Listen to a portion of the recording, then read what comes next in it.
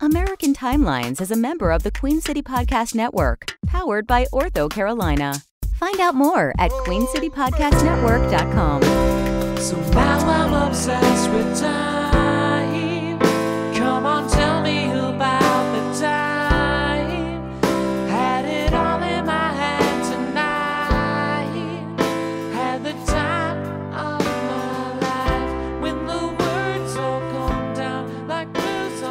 Episode 108 of American Timelines coming to you right now.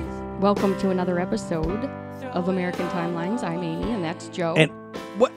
Yes, and we're married. We fell in love a long time ago, and now we do a podcast together. And we are going to discuss 1968 today. That's right. We're in a new year. We only got two more years left in the 60s. Yow. Before we're into a new season. That's right. This, we're winding down season four. It's going to get crazy. 68 and 69 were crazy. Yes. And already 67 was crazy. What, we had nine episodes or something in that yes, year? But but I just mean with things that were bananas that world happened. changing things are happening. Um, and in case you missed our last bunch of episodes, we American Timelines here. I would say we are solely responsible for uncovering uh, the fact that 1967 was full of bus cra- bus buses falling off cliffs. Yeah. there were a lot of buses. A lot of buses in the 60s fell off cliffs, filled with why. people. And we'll see. Does that trend continue to 1968? I don't know. Oh, I don't know. Maybe. Am I foreshadowing? Maybe. Little tickler. But as we do every time we start a new year, we got some things that don't really have a date, but Yes. happened in '68. Okay. So I'll tell you those things. Great. First of all, uh, the Harlem Globetrotters were formed in 1968, and they were formed in Chicago. Okay. And you know they didn't play a game of basketball in Harlem until 1968. No, they were formed before this, Oh, but yeah, actually 40 years before this. So f- so 1948. why are you bringing it up? No, they didn't play in Harlem until 1968, Oh, okay. I see. and they're f- supposed to be the Harlem Globetrotters. Yeah. They're they came out in the 40s or something. Finally in '68, and I looked up. I kind of looked a lot. I looked to You see did what look a day lot. it was. I didn't did find it. look a lot. Also, uh, the cost of a Super Bowl ad in 1968 Mm-hmm. was only fifty-four thousand dollars. Wow, that's a difference. Are you upset I didn't make you a guess? No, I'm so glad. I'm Um, happy about that. there were four mysterious submarine disappearances in 1968. Oh, I think I ran across that. Yeah, the USS Scorpion, uh, an Israeli submarine, the INS Dakar, a French submarine. Wait, no, the USS Scorpion, the Israeli submarine, the INS Dakar, the French submarine Minerve, and the Soviet submarine K 129 all went down, And disappeared. disappeared. Isn't that weird? yeah, somebody needs submarines. Mothman, maybe. Yeah, he's driving them around. Um, uh, 1968 was when we heard the slogans "Ring around the collar" Oh yeah. from Wisk. Yep. You've gone a long way, baby. Mm-hmm. Virginia, Virginia Slims. Slims. Yep. Uh, minimum wage in 1968 was a dollar Oh sixty per hour. Holy shit. Don't you sometimes wish you could go back in time with the money that you have now Oh yeah. and um My salary now, I'd be a I'd be, Be a, a- super rich guy. Yeah, I know. Wouldn't that be something? Of course we wouldn't have any technology. and I'm nothing stuff. here. Yeah, and you couldn't. Yeah. I don't think I could live without the technology. You could live. You'd be surprised at what you could live without. No, I'm telling you. Just the other day, I went to the bathroom to go number two. Oh, we don't need to know. No, no, and I forgot my phone. So what'd you do? It was the worst experience. I was like, "What? I don't know what to do with myself. I can't, I'm alone with my thoughts while I'm pooping. Oh, hurry up, poop!" And the poop wasn't coming very All right, fast. we're this is this conversation's going nowhere. It's just nothing to do. You have to have your phone when you poop. I couldn't believe it. All right. And let's then it move dawned on. on me that I hadn't pooped without a phone in I don't know how long. Let's move on. Uh, also, in 1968, the U.S. patent for lava lamps was permitted. Oh yeah, had a lot of those. Uh, in 1968, uh, uh, Mattel made a toy called the Toot Toot Sweet that shaped Tootsie Rolls candy into actual working whistles. Did you know that? What? I don't know. The top song, the top uh, TV shows in 1968 were Rowan and Martin's Laugh-In, Mm-hmm. number one. Gomer Pyle, number two. Yes. Bonanza, number 3 Mm-hmm. Mayberry RFD was four. I wonder what that that must be a spin-off It of had to be a Andy spin off. Griffith. I think Mayberry something fire department. Oh, RF. maybe. What's R? Rescue fire department, maybe. I don't know. I didn't know that existed. We'll have to look that up. And number five was Family Affair. Okay. Um, Operation Wandering Soul Mm-hmm. took place in Vietnam in 1968.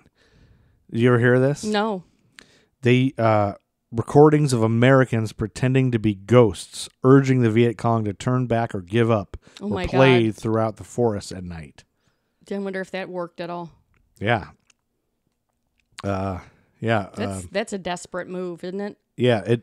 Well, the operation played off the belief of many Vietnamese people, and they all believe Yeah. in this wandering soul thing. So yeah. So they thought that would kind work. of smart if you think about it. Yeah. I don't know if it worked or not. I don't think. Well, we But- lost the war, so Well, nobody won really. Nobody wins in war, do they? no. But the Viet, but the the communists took over, so Yeah. we lost according to what we were set out to do. I don't know. I'm I'm watching Ken Burns Vietnam to really try Mm-hmm. to understand it more. Uh, by the time I finish, it'll be too late to Mm-hmm. help on this podcast, probably. But um, yeah, I think that covers most of the. Oh, another thing, uh, Roy Jacuzzi invented a new type of whirlpool bath. Yes, he did. What do you think it was called? Yes, he, he had a lot of chest hair and a lot of gold chains around his neck. I Uh, betcha. uh, yeah, you think that's your, just a guess? yep. Well, I don't know if you know this, but there is controversy Mm-hmm. between Roy Jacuzzi and his uncle as to who really invented it. They need a special pube filter in a jacuzzi. Well, it's either Candido Jacuzzi or Roy Jacuzzi. Roy Jacuzzi gets all the credit, but a lot of people think Candido Jacuzzi really did it. Are they they're But they both have no uncle and Oh, I nephew. They gotcha. both have a lot of chest hair, probably. hmm But there is, I think, there I think who the winner needs to be who has the most whoever whoever can fill a jacuzzi most with pubes. in chest hair. Yeah, they That's- each get in a jacuzzi for a week, hmm and then you measure it in Yeah. pubes and chest hair. Yeah, that's That's a good idea. That's not a bad idea. And then um, going into the year, the Beatles' "Hello Goodbye" was the number one song on the Billboard chart. That's a good one. It was. Uh, can you sing a little bit of it? Um, I, I, I say goodbye and you say hello, hello, Mm. hello. I don't know why you say goodbye. I say hello. Good work. Thanks. And then Tuesday, January second, the day after New Year's, American film actor who won an Oscar for Best Supporting Actor in Jerry Maguire in Bronx, New York, Cuba Gooding Jr. was born. He came into the world. Okay. And I know you hate birthdays, but Saturday, January sixth, 1968, the collision of an express train and a truck stalled on the tracks killed 13 people in England, all of them passengers on the train. The truck Oh. driver and his coworkers were uninjured. Wow. You would think that would be the other way around. Yeah. Uh, at Hixon, a village in Staffordshire, the truck was slowly hauling a 125 ton electrical transformer over the crossing when the Manchester to London southbound express train arrived with 500 people on board. The crossing gates lowered automatically, preventing the truck from completing its move off the crossing, and the locomotive and eight cars derailed. Mm, Bummer. I wonder why the truck was fine, but the people on the train all died. That's kind of b- I have bizarre. no idea. Maybe it was just the back of the truck or something. Could be. Saturday, January 7th, 1968, 43 passengers on a bus in South Korea were killed near Oh God. Jinju when their bus lost one of its front wheels, went out of control, and fell over a 33 foot high cliff and sank in the Nam River. I'm beginning to think they they need some safety checks on some of these buses. Yeah, especially if they're over Like- mountains. Check the equipment, make sure everything's on I think if we had Twitter or something, Mhm. the news would spread so fast you would never get on another bus on the, Yeah, cliff, probably. cliffs. Uh, that same day, the Los Angeles Times reported a group of over 200 Caltech students marched to and demonstrated in front of NBC studios in Burbank as part of what appeared to be a grassroots campaign actually orchestrated by Gene Roddenberry to get the network to renew Star Trek for a third season. This, so people were marching for stupid shit back then too. Yeah, there was a lot of great stuff, but then there was that stupid ass Star Trek stuff. I'm also a Trekkie. Yeah, Yes, I want civil rights, but also live long and prosper. yeah. I, I want Star Trek to be on a TV still. Yeah. Sometimes you got to have shows for those nerds. Mm-hmm. And then Friday, January 12th, 1968, Mhm. The American Telephone and Telegraph Company, which controlled all but a few of the telephones in the U.S., announced plans to provide a universal emergency telephone number that could be dialed quickly from any telephone in Mm. the country. 911. Yep. And that came um, That's off the heels of that. Remember that murder of the girl? Um, God, what was her name? Yeah, in New York, where everybody saw it and nobody called, and that that helped spur 911 Wow. in New York, at least. Like it's. Did we cover that? You covered it, right? Mm-hmm. Yep. I remember you saying that at one point. Kit, Kitty Genovese. That's the name. That's her name. Oh, I remember that one. Uh, anyway, there's I have a whole bunch of stuff about that, but how interesting could that be? Yeah. Saturday, January 13th, 1968, Bill Masterson, a center for the Minnesota North Stars of the National Hockey League. Now they're not in Minnesota anymore. They're in Dallas. Are they still Uh, called the North Stars? They're called the Stars. They Okay, that's the north better. part. Uh, anyway, Bill Masterson was fatally injured during a game against the Oakland Seals Ooh. When he received a body check by two defenders while skating toward the Oakland goal with the puck. The incident happened in the early minutes of the game in front of a crowd of 12,119 spectators. After Master- Masterson was taken from the rink and blood cleaned from the ice, play continued in a game that would end in a 2 to 2 tie. Masterson, who was known for scoring the North Stars' very first goal when the team began play on October 11th, 1967, would die 30 hours later from brain hemorrhaging caused by severe head trauma. So checking is just like bunching is just like body, checking, yeah, slamming. like body How did that cause him to die? Well, severe trauma, hemorrhaging caused by severe head trauma. Apparently, they, I'm guessing they hit him. He must Like have two hit his people might have hit him, somehow. and maybe he hit his head on the ice. Hmm. Yeah. And the blood, I wonder where the blood's coming from. Well, you get hit by two dudes, Yeah. and I don't even know. They might not have even wore helmets then. Yeah, they probably didn't. Yeah. So, yep.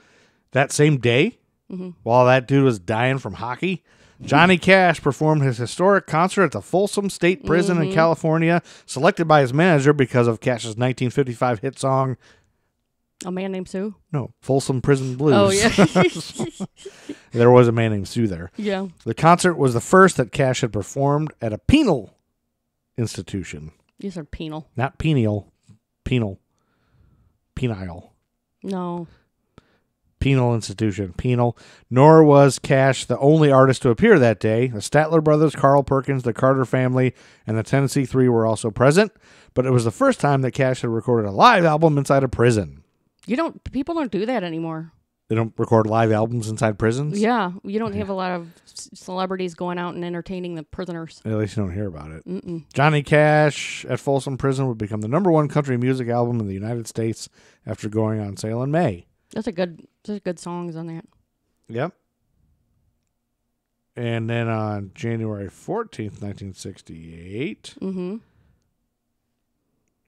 uh, while LL Cool J was being born as James Todd Smith in Bayshore, New York, the Green Bay Packers defeated the Oakland Raiders 33 to 14 in Super Bowl 2 before 75,546 fans at the Orange Bowl in Miami. And then Vince Lombardi retired as the Packers head coach after the event, which was still referred to officially as the AFL NFL World Championship game. And LL Cool J is bad. I don't know what any of that means. He's too bad for you, understand? okay. Let's move on. Thursday, January 18th, 1968. Mm-hmm. Singer and actress Eartha Kitt. Mm-hmm. Are you familiar? Mm-hmm. She was a guest at the White House Oh. at a luncheon hosted by Lady Bird Johnson to honor a group of women doers. Women doers. Yep, influential women Okay.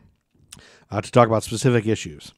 When President Johnson entered the dining room, Kitt asked him what appeared to be a routine question about delinquent parents, and she didn't like the answer she'd been given. Um, although Kitt didn't vent her anger on the president himself, her confrontation with the First Lady about the Vietnam War became an embarrassing incident. What was her question? I don't know. This, this is what I have from Wikipedia. Oh, this is what okay. Wikipedia says. Okay. Oh, so this is what she said. I have a baby, and then you send him off to war, Kitt reportedly said. No wonder the kids rebel and take pot. And Mrs. Hmm. Johnson, in case you don't understand the lingo, that's marijuana. Afterward, Kitt would experience a slow decline in her career. Oh. Two days later, in a telephone call, Chicago Mayor Richard Daley expressed his support for Lady Bird and revealed that a 500 strong women's group in Chicago had declared their support for Lady Bird in the incident, including a lady whose 20 year old son had recently died in Nam. Hanoi immediately used Kitt's outbursts for their own propaganda purposes. Mm. And meanwhile, while that Mm-hmm. uncomfortableness was going on at the White House, the first Red Lobster seafood restaurant was opened. Oh, thank God. Yeah. Thank God that started. What state do you think it opened in? I'm gonna say Red Lobster. Maine. Where does that belong? Maine. Florida. Yeah. Florida. Lakeland, Florida. Yeah. East Memorial Boulevard. Yeah. Are you familiar? No. Um, then, on Friday, January 19th, 1968, Operation Cross Tie, Mm-hmm. Project Faultless, was an experiment that took place to see if an earthquake could be triggered by detonating an underground nuclear weapon along the fault line. Hmm. After the residents of the closest towns to the Central Nevada test site, Tonopah and Eureka, Nevada, were briefed about what to expect, an atomic bomb was detonated detonated in Nye County at a depth of 3,200 feet. Mm-hmm. The blast, described by the Atomic Energy Commission as being one megaton, was believed to be the most powerful nuclear weapon ever exploded in the U.S. and caused upheavals and dropping of the ground in a wide area, breaking windows 87 miles away Oh at a high school in El Ely. Because of the surface damage, the test site would eventually be declared unsuitable. Yeah. According to reports the next day, buildings swayed in Salt Lake City and San Francisco, particularly in the Southern Pacific building in the California city. The tremor caused by the blast was estimated by the University of California, Berkeley, to be a 6.0 on the Richter scale. Jeez, why do they have to do that? I guess they have to tell make sure they work or something. So I guess they they 'em? wanted to test if they could create earthquakes. I don't know why they wanted to test that. Meanwhile, U.S. President. Well, they did it underground so that there's like in their ideas that it's not going to hurt anything if it's way under the ground, but it it's does. hurt Still does. ants yeah. and voles. Mm-hmm. That, that same day, during that, uh, U.S. President Johnson completed the installation of a tape recording system in the cabinet room of the White House to preserve his discussions of meetings with the leaders of government departments. Mm. Good thing he, he installed that because that's how we got the whole Nixon thing. Yep. That's right. And then Saturday, January 20th, 1968, John Fred and his Playboy band take over the number one spot in the Billboard charts with Judy in Disguise with glasses. Judy in disguise No, with no. glasses. That's not right. It's not? Mm-mm. How does it go? You're not singing. It's. I don't know what you're talking about. Judy in disguise with glasses. John Fred and his Playboy band. I don't know that one. I bet it's Judy in disguise not. with glasses. Don't you think it's like a parody? No. Judy in disguise. You see the guy singing it looks like uh, Bentley from the Jeffersons. Judy in disguise. There, now you know it. Like a British white guy. Yeah, with a yellow shirt on. And then Wednesday, January 24th, 1968, Mary Lou Retton, American gymnast and 1984 Olympic gold medalist, was born in Fairmont, West Virginia, and she changed the world with her greatness the moment she came into the world. We were now in a world with Mary Lou Retton. Okay. Uh, and then Friday, that brings us to Friday, January 26th. Yes. And I understand that my beautiful better half, my buxom blonde bombshell of a wife, Quit has, yelling. has something for us I feel like you're yelling at that me. day. And are we? Um, you know how the last couple episodes have been Of American Timelines by History for Jerks? yes have been um how should we say rape free. Yes. And that's, I, I've gotten a lot of feedback from our listeners, and they prefer that, and they're happy about that. I don't think that's true. and they true. said, please, no more rape. Oh, you think we have a lot of rape fans that are really no, I just out? I don't think anybody contacted you one way or the, one way or the other about it. Uh, are you calling me a liar? Yes. All right. Um. So, unfortunately, I have to make up for all that time today. And you don't have to. well, it's not. So we're gonna do a whole. It's not rape, really rape. rape heavy episode. When they're dead already, it's not really rape. Oh well, let's It's see. Defiling they a can't corpse, that's true. They can't consent. So but they're not rape. alive anymore. So it's it's That's true. I guess. defiling a corpse. I guess, so I as guess a teenage boy, if you look rape at a it that way, it's not necessarily a lot of rape. But I just want you to buckle up, is what I'm trying to say. So there's a lot of necrophilia here. There's there's there's a lot of stuff. So I'm going to talk about the shoe fetish slayer Jerry Brudos ah, today. Okay. So people that have a fetish, just saying a fetish, I don't know, like a foot, like people like feet and shoes and like there are people that are got problems. Right. The younger of two brothers, Jerome Henry Brudos, was born on January 31st, 1939. Oh, wait a minute. He was born on January 31st, 1939, the same day mm-hmm. that George Burns was fined $8,000 for jewelry smuggling, in addition to the $9,170, nine, almost 10000 he already paid in duties and penalties.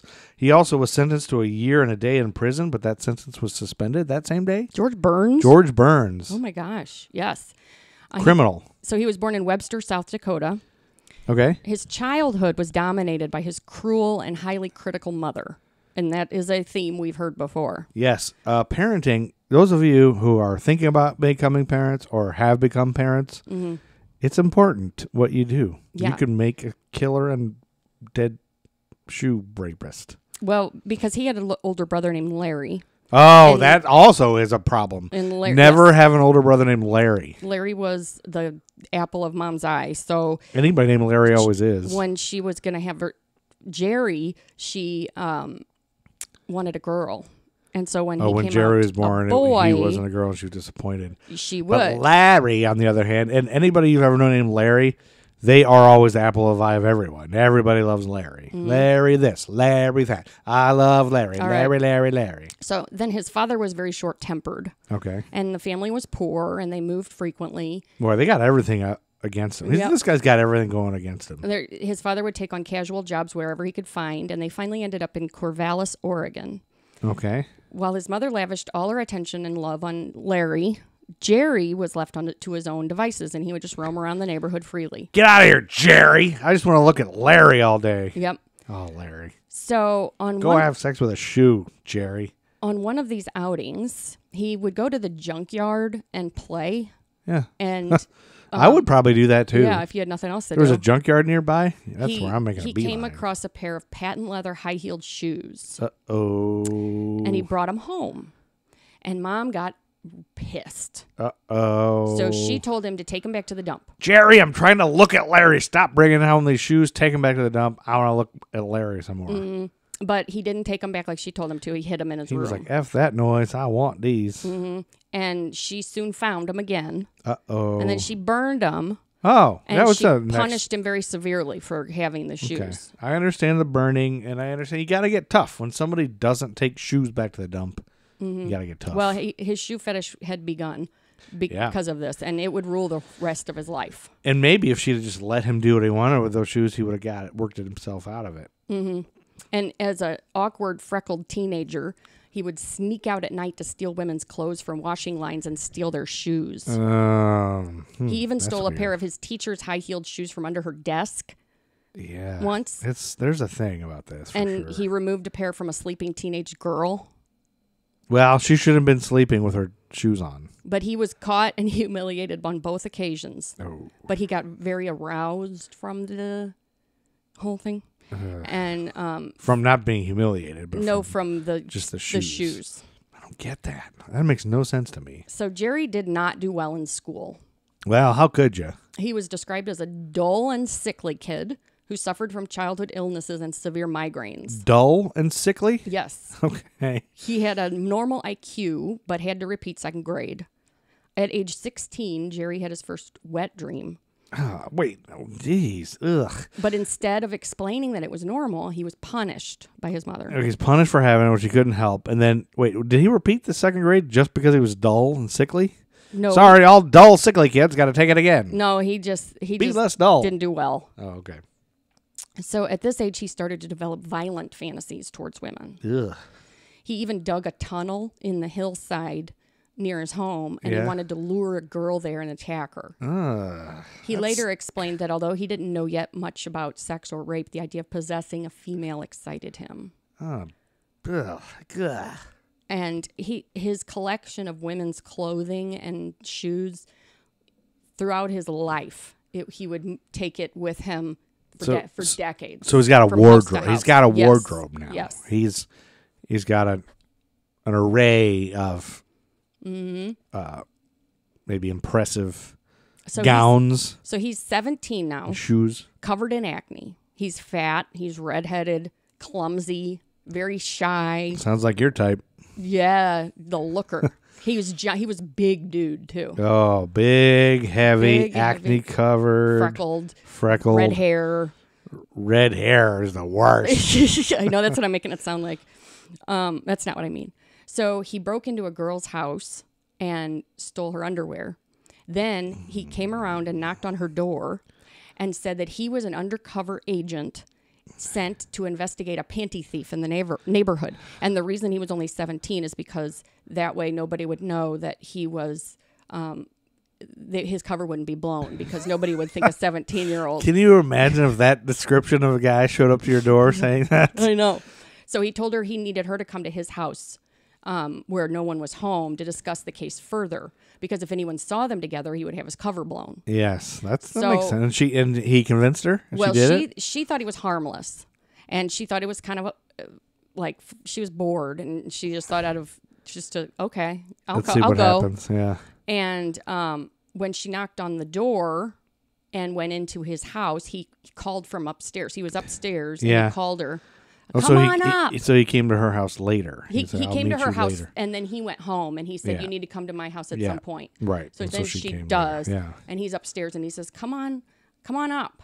Oh my god. And he's So when she what is he doing? Is he she gets up com- there, is he on a toilet? Is he completely naked? He's he's wearing a he jumps out of a closet Yeah. wearing a mask okay. and he gets a knife.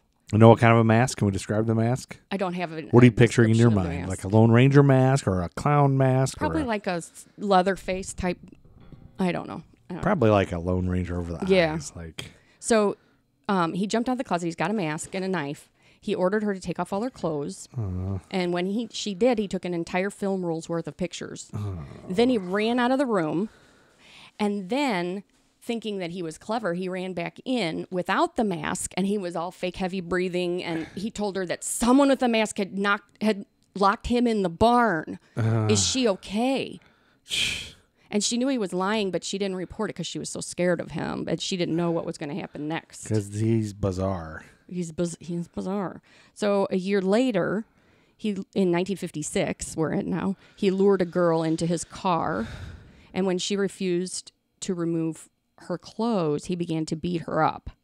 And but then she was saved by a passing couple. So they come driving by and they Yeah. see what's going on, and Oh they, and then he tries to say he was passing by and saw her being attacked, and and they didn't believe that. And then he said that um that he was saving her from From somebody from else. somebody else, and they didn't. So they they um had him. They made him and her go to their house, and they called the police.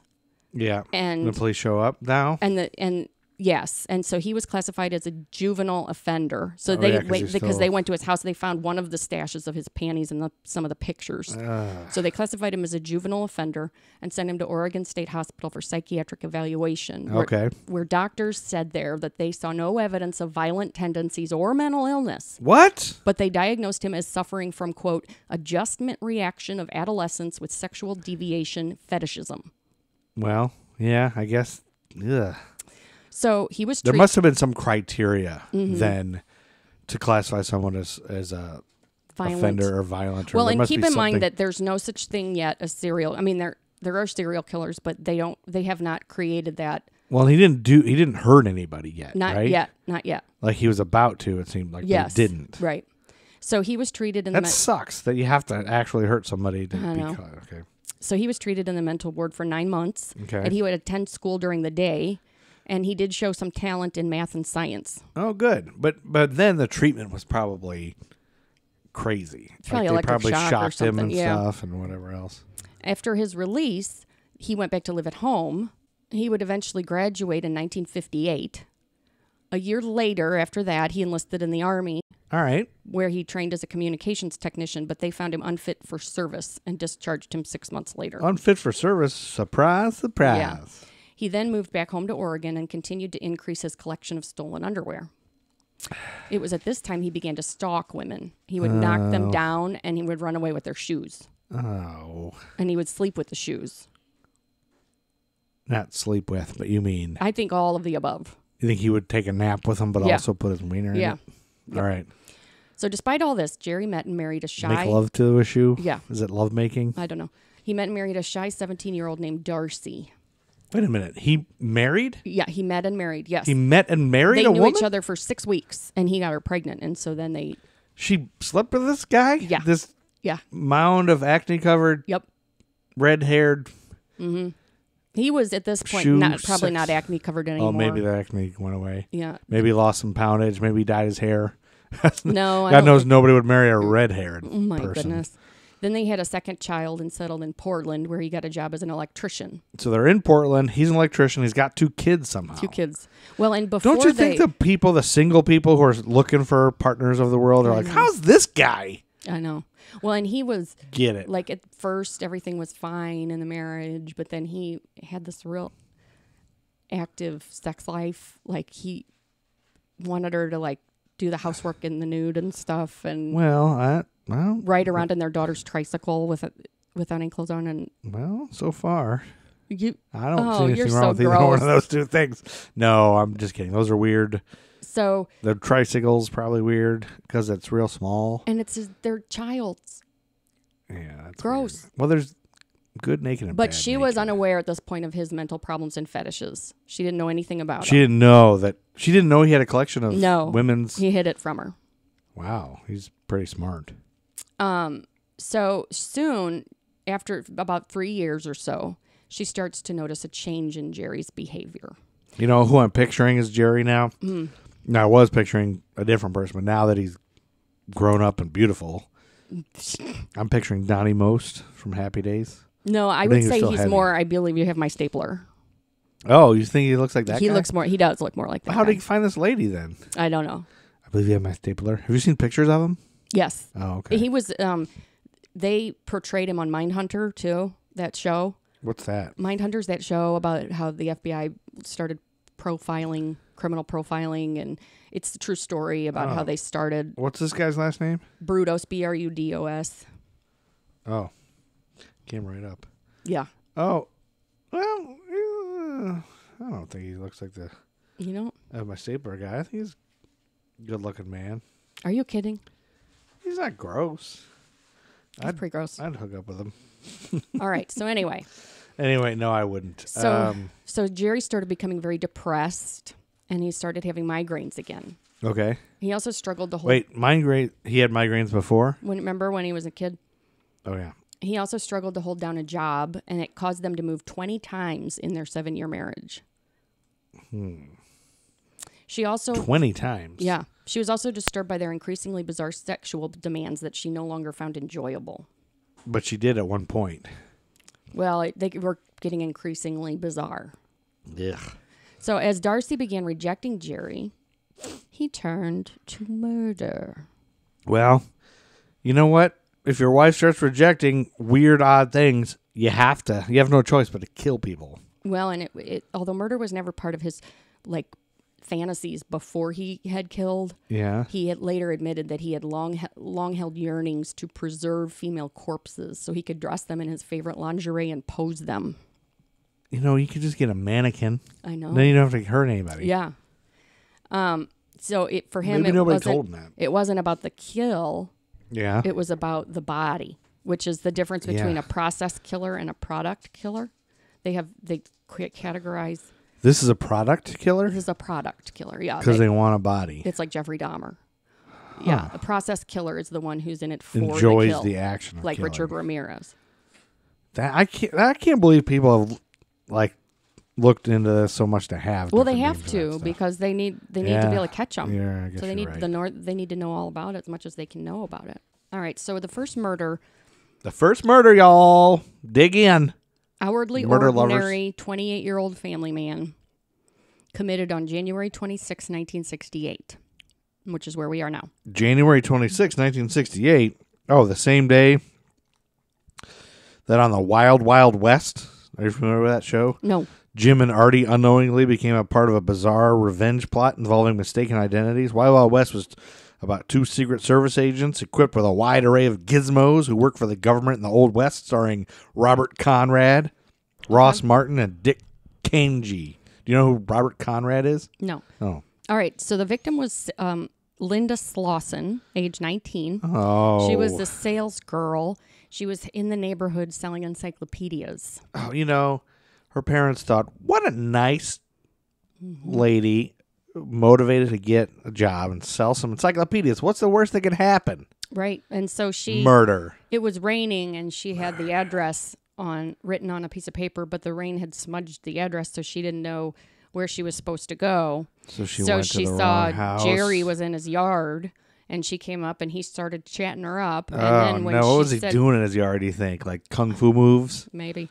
And a So- jock strap? He acted like he knew exactly what she was talking about and like, oh yeah, yeah, yeah, the encyclopedias, come on in. Oh no! And so, um, Now think about it. That's and- something that'll never happen again. Nobody will do door to door encyclopedia sales ever again. It's true. And his family is upstairs in the house. He Oh. invites her to the basement. While his family's upstairs. Yes. Yes. Oh snap! Even Larry. Larry was home. Yeah, I think. Oh no, Larry's his brother. Brother. This is would be his, his Yeah, this is his- this is his- but his mom was his there. wife. Oh, Watching the kids. she was watching the kids, even though she only likes Larry. Mm-hmm. Wow. So, um, with uh, he he beat her into unconsciousness and strangled her. Oh no, no, I understand why you guys like this stuff. Then he abused and raped the corpse, dre- dressed it in, with clothes from his collection, and photographed Come on, man. it. Finally, he chopped off the left foot, and with a newly fitted shoe, put it in his refrigerator. Oh, okay. Great. Wonderful. That seems normal. Um, So finally, oh, we already said that. We might have to wait. So his mother was upstairs babysitting, and psychiatrists had speculated that his final act of cutting off the foot was because of memories of how mad she was when he came home from the dump with that shoe that one day. So that made him want to cut off a foot and, And put it in a shoe and hide it. and hide it. Yeah. So after he killed her, he bound the body to an old car engine block and threw it in the Willamette River. Oh, That's how he disposed of her. Well, that that'll do it.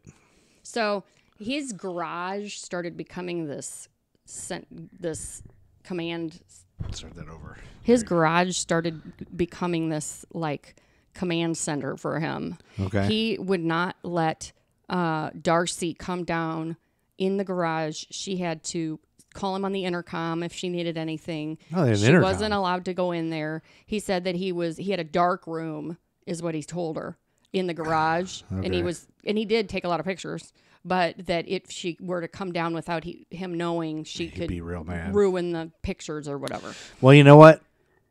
That's a, not a bad idea. So I'd like you to stay out of our garage. And she was also required to call home if she was out and she was on her. She's getting ready to come home. She, had to call him she had to first? call him first. Actually, that's not a bad idea too. Could you start doing that? There's some red. Can we say red flags? Red flags, Red flags, flags starting to fly. red here. flags.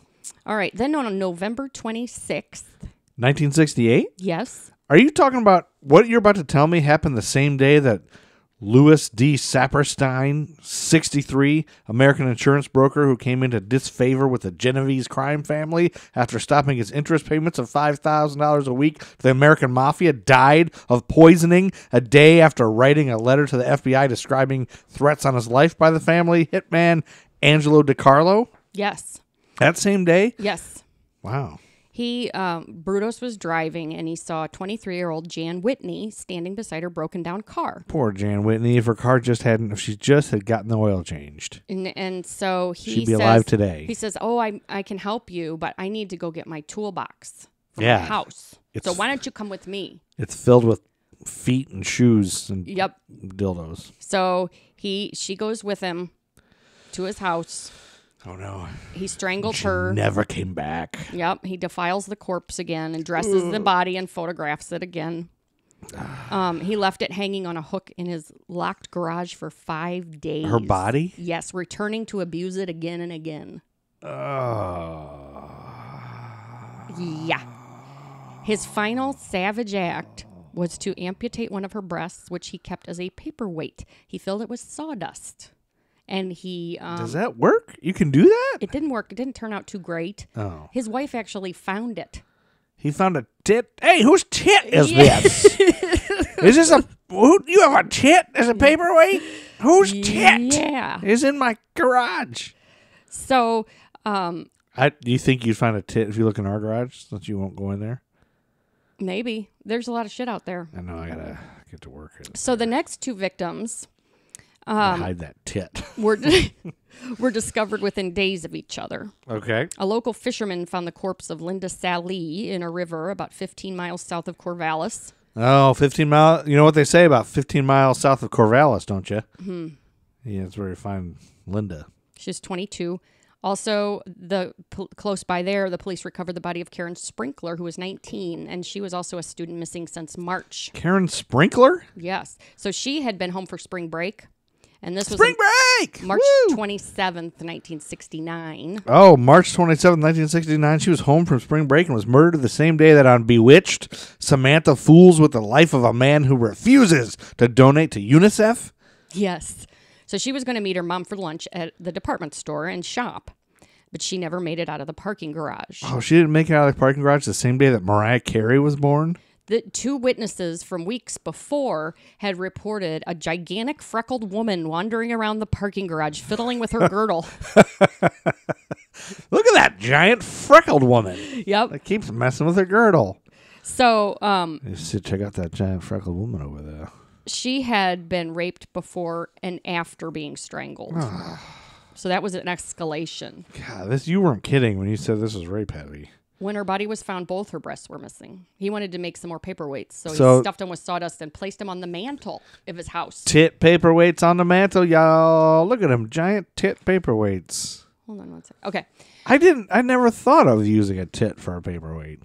Police questioned Karen's classmates at Oregon State University and found out that several girls had received phone calls from a man asking to meet them.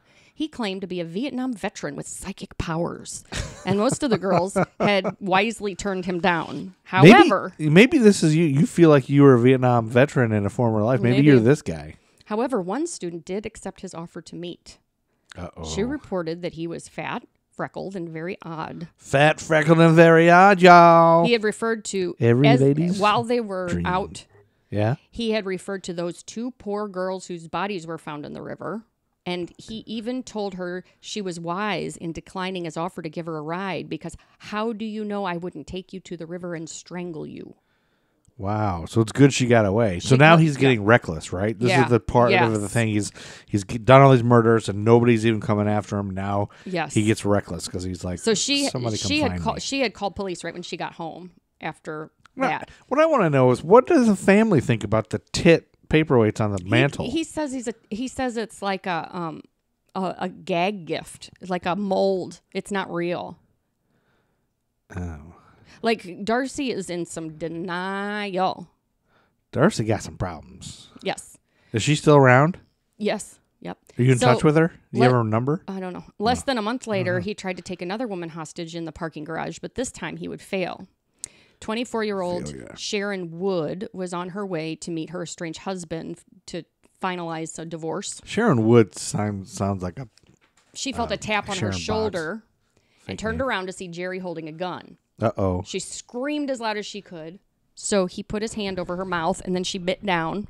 And then they tussle, tussled, and then a car came and he got scared and ran away. She bit on his hand. Mm-hmm. They tussled, Yep. and a car came. and he got away.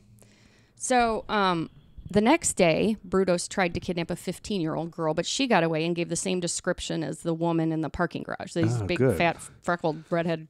At this point, do you, do you think like people have put out an APB, like they've notified the public, hey, watch out for a big fat freckled. They probably redhead did. Yeah. Sometimes dressed as a clothes. moon. Yeah. He then bought a fake police uniform. We Be on the lookout for a big fat freckled redhead. sorry, I don't know. I'm sorry, poor fat freckled redheads that are listening. so he then bought a fake police uniform. He Oh. decided he, he wasn't doing well taking them by force. Yeah, he's So- got to really get him to let their guard down. So because he's going to try trickery this He's time. not very agile. Yeah. So um, It's he, hard to be an agile, fat, freckled redhead. he he dressed like a security guard, police Okay. officer type, and headed to the shopping center. There he found, and this is when this is okay. So I'm backing up a little bit. Oh, we're This going back. A little more Backtracking. about Linda Salee. Let's play the backtracking music. Backtrack. this is just some details that, about Linda Salee and her death. So he went to Oh, the she shopping was the center. one who was in the w- oh, In the river. Yeah. Um, in the river. He told her Throw me in the water. Shh, s- shush. He told he told her there had been a rash of shoplifting at the mall, Oh. and that she looked like the prime suspect. Oh no! So she was in So trouble. he told her to go with him. oh, And on the hour drive, she got in his car. On the hour drive, hour he drove with her to the which river? was not in the direction of the police station. no. It was more Linda in the didn't say a of the river. word. Yeah. She just sat in the car. He drove her to his house and directed her to his garage, and he tied her up and went in to eat dinner. Wait, how do we know this? If she His died? his confession. oh, he confessed to it. When he got back, he found she had broken free of her ropes, but she was just sitting there waiting. That doesn't sound right. Well, there's there's something called um, frozen fright Okay. that can happen with kidnap victims. Yeah. where you it's your it's a it's a response Yeah. and you just can't do anything. kind of like rabbits. Like when you Yes. catch a rabbit, they freeze. Yeah. You know, yeah, so um, that could be what, what Yeah. was going on. that probably happens. So he strangled her and threw her in the river. Oh man. And then, um, let's see. So yeah, and we talked about how he was at Oregon State University and he kept hanging around campus. He would call the dorms and he would ask for like Deb or Pam or Susie, like names that. That everybody had. Yeah, yeah, Deb, Pam, and Susie. Everybody was named that in the '60s. that's right. Hold on, I'm. Oh, get back here. Okay. Okay. Um. So the detectives catch up with him, and they they Do they mustard with him too? all right. So they visit joke. him um, Yeah. to to check out what's going on because they they tracked him down from from the campus from hanging around and stuff. hey, just everybody call if you see a fat redheaded guy with freckles. Yes. So they visited him as his garage workshop, Okay. and he didn't show very much concern. He allowed them in. He answered their questions. He even let them take w- away one of the incriminating knots. So when the bodies were found, they had they had this special the knots that the rope was tied in was a, an Yeah. electrician's knot. Oh, so only certain And- people know how to cut that knot or tie that. tie knot. that knot. And then he had like a whole bunch of nylon rope in his garage, and he's like, "Oh, you might want some of this too." I heard that they were tied with ropes. You want some of this? And like, yeah. So, Like he wants to get caught. Maybe. Kind of. I don't know. Something wrong with him. well, I'd say This guy's got something wrong with him. um, when they got him, when they got Not a him normal down fella. to the police. Well, then they so they took the stuff. They went to the police station. Yeah. The crime lab immediately matched the rope and the knots. So they issued an arrest warrant. Uh huh. and they caught him and his wife as they were driving to Canada. Oh my gosh. He was caught on May So- 30th, 1969. Oh, you didn't give me that date. Oh, so I I don't have anything. So he he must have um he must have told her everything, right? No, he he made up some bullshit. Oh, why he had to go to Canada? Yeah. So at first he remained silent, but then their interrogation, you know, soon had him bragging, and they appealed to his braggadocious nature. Yeah, like yeah. If you're a narcissist with Yes. all this, And so he confessed. So then they got a search warrant and they raided his home and garage and uncovered drawers of carefully sorted women's clothes and shoes. really, They found that his electrician's wiring exactly matched that used to bind the corpses. They discovered a woman's breast hardened with varnish in full view on the mantelpiece. The most damning evidence of all was a photograph of Jan Whitney's abused body hanging from a hook in his garage. At the victim's feet was a mirror showing a reflection of the man taking the picture, and it was clearly him. so that's like, that yeah, couldn't be here, any more this, yeah. incriminating. It was a picture of that. In fact, all the victims had been photographed shortly after death. He had all, all those pictures. So i- initially, detectives could not believe that Darcy was unaware of her husband's crimes. She was charged with accessory to murder, and they took her children away. Oh yeah, But eventually, they they mean, found her not guilty. they did. Yeah, and they um, and they had charged her with the murder of Karen Sprinker, uh, of abetting the murder of Karen Sprinker, but they found her not guilty. They did. and and she was reunited with her kids. Brudos himself was charged with the four murders. He pleaded insanity, but psychi- psychiatric reports declared him sane, and he was sentenced to life imprisonment at Oregon State Penitentiary. Really? There, he became a model prisoner, allowed a large measure of freedom by the guards. He, the guards loved him. Oh, don't you just love that fat, red-haired, freckled guy? I was- just love that guy. He was given the responsibility of the upkeep of the prison's record computers, the vending machine, and the cable TV network. Okay, why are you saying the nerd voice? I, that's the voice I give him. I think Oh, that's, that's, what, he sounds, like. like. Okay. There were several life-threatening attacks on Brudos by fellow inmates, all Really? of which he survived. And he never disclosed his assailants' identities. It was like Oh, he never told on him, huh? Yeah. He never snitched. Don't be a snitch. he remained Snitches get stitches. Yep. He remained with Darcy until his death of liver cancer on March 26, 2006. Wait, she stayed married to him? Yes. And like visit him in prison? I don't know if they- conjugal visits? I don't know if they stayed married. It said he remained in love with her. So I oh. don't know if that means they Oh. stayed married. So you're not sure if there were conjugal visits. No, I'm And not so sure. there's not any conjugal visits you could describe. Ew. so that's the story of the shoe fetish slayer. That guy's gross. Yes, he is. Uh, I knew you would say that. yeah, he's a gross fat. But we know who did it. It's guy. not a mystery. At least we know who done it. yeah. And there was only a lot of rapes. There was a lot of rapes. There was an excessive amount of grossness. It was a lot of grossness. Now that guy. No, here's a question. This guy was just as disgusting and gross and shocking as, As- anything else. and why isn't he more famous? Yeah, why is he not I as don't know. famous as Jeffrey Dahmer? because I think this happened.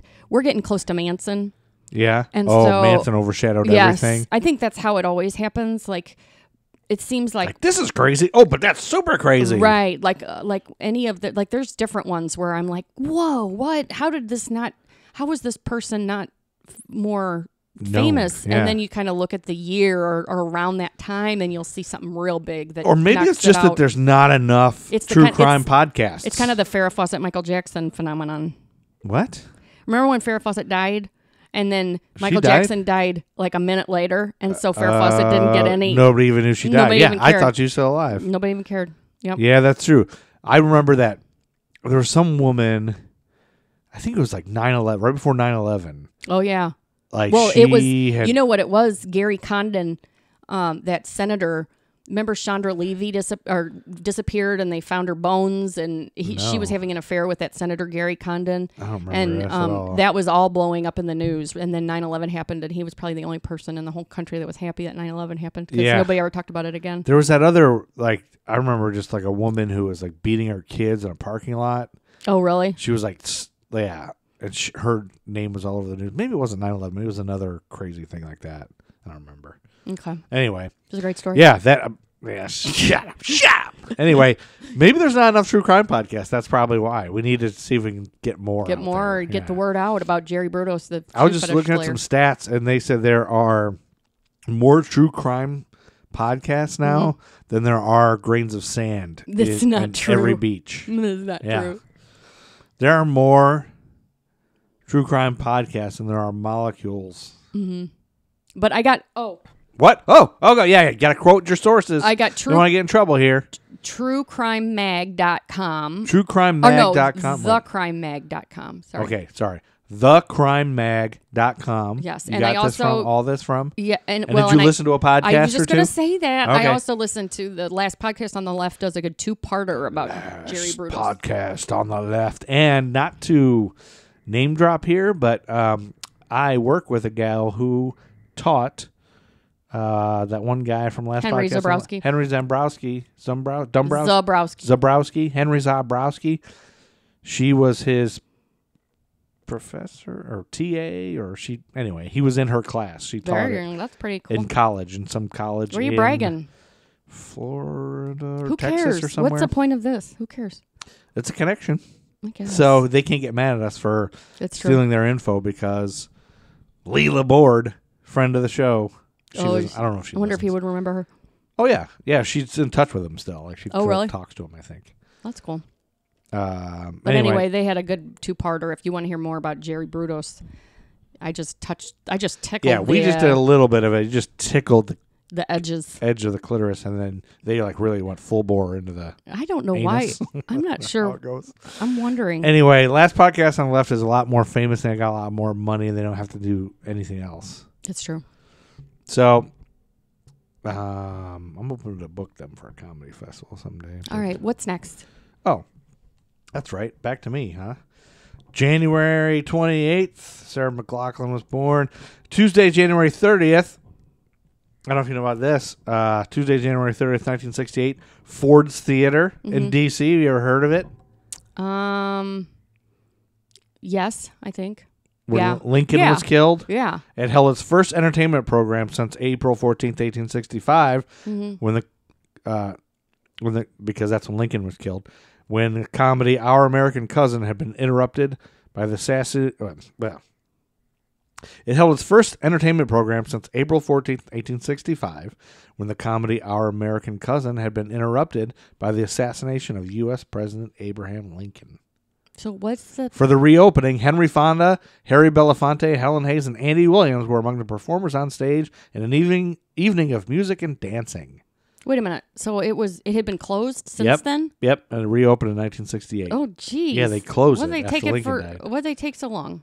I mean, that's well, a, I, I think they were like, "Fucking the president like got a killed there." years though. They're probably we can't fucking do a show there. Who wants to go to it? I guess. Um, I think they tear it down then or something. also, that same day, Mhm.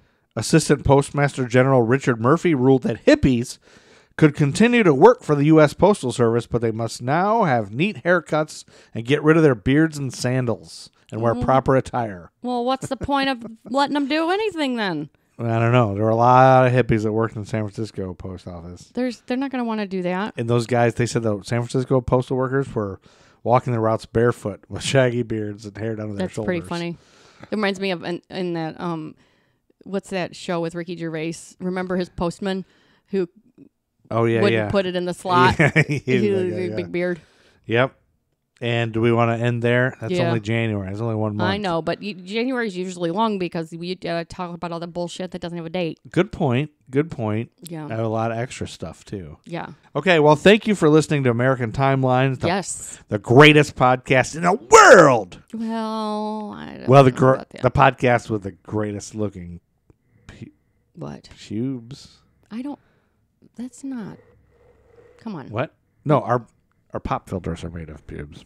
No, they're not. No, this is the podcast with the greatest Dogs, greatest elderly dogs. greatest podcast that talks about Mork and Mindy and murders at the same time. That's right. Okay. Thank you for listening. Thank you for listening. Rate, review, subscribe, all that stupid shit. Or you know what? Don't. I don't care anymore. Yeah. I don't give a shit. The Nobody's world's doing it. ending. The world's over.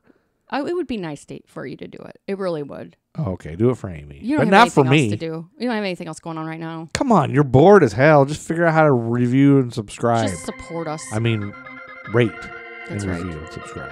That's right. Anyway, thanks. Happy birthday. And Matt Truman, awesome. Get out of here, Chuck Berry. Happy birthday, Sean. So tired of hearing about the six days. This episode's over. Why are you still listening? We're so Turn it tired off. When you were all the watchtower, kissing the sky, well, I was barely a glimmer in my young daddy's eye. Said we're so tired of hearing about the six days. One more time, I said we're so tired of hearing about the six days. Well, make me shut my mouth Ellis versus Tempting Town. Now you're stealing morning for the president's ball. Yeah. We're so tired of hearing about the. American Timelines is a member of the Queen City Podcast Network, powered by Ortho Carolina. Find out more at queencitypodcastnetwork.com.